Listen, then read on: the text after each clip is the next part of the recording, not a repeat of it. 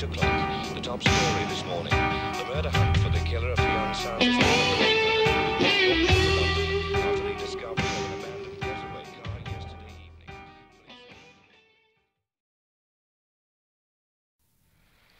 The gunman wasn't young. He held the gun square.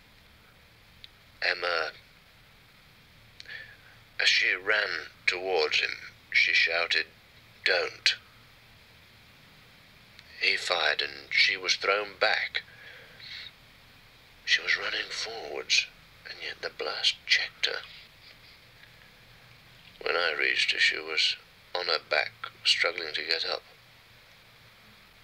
She looked at me as if she'd slipped. What happened to the gunman? For one moment I thought she's all right. Then I heard a sigh. There was this exhalation blood all over her face. And rain. Then I heard a car start, and I could hear it sliding in the mud. And I knew it set a cast of the tires, and she said, Dad, you're hurt. But it was her blood all over me. You say when she ran forward, was almost as if she knew him. Yeah, I got that impression. But he called your name. Yes, Did she say anything else, Ronnie? she just looked at me once and said, Don't tell. Don't tell what. I don't know. And those were her last words. Yes. The time is 8 o'clock. The top story this morning. The murder hunt for the killer of the young scientist Emma Craven has moved from Yorkshire to London after the discovery of an abandoned getaway getaway yesterday evening. Police have yet to issue a detailed description of the man wanted in connection with the killing.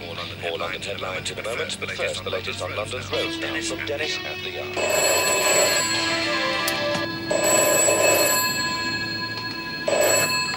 Yes? Ronnie, did you hear? You found the car? We found the car. Got Lowe's fingerprints all over it.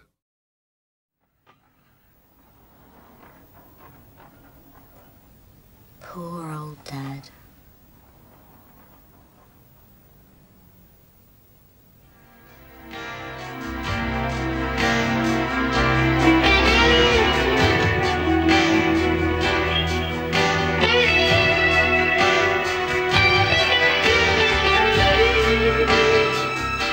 Gripping crime thrillers to edge of your seat stories from all over the world, watch our international drama collection on BBC iPlayer.